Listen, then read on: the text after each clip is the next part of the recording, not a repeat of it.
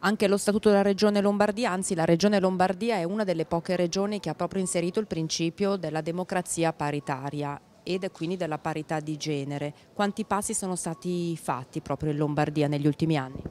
Io credo che noi siamo l'esempio di questa parità di genere perché noi vediamo quante consiglieri ci sono in Regione Lombardia, ma la cosa principale è vedere quante donne ci sono anche in giunta.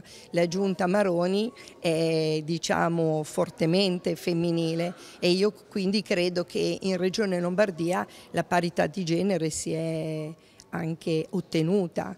Eh, ottenuta non solo per l'alternanza, non solo per la legge Golfo Mosca, ma anche per merito.